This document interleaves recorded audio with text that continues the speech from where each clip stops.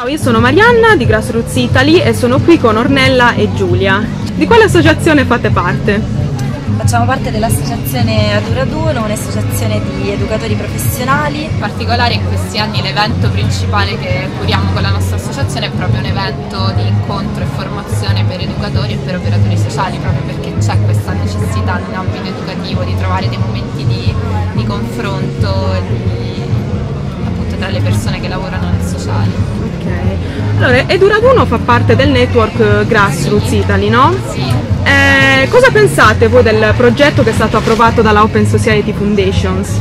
Sì, no, è un progetto che noi condividiamo, abbiamo partecipato un po' anche all'ideazione iniziale proprio perché l'ideazione è stata fatta in un momento in cui eravamo presenti un po' tutti come, come associazioni.